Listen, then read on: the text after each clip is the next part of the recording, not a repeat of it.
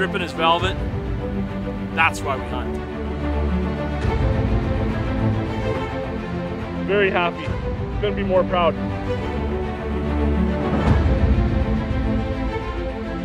got a visual on the buck. He's about 40 yards away.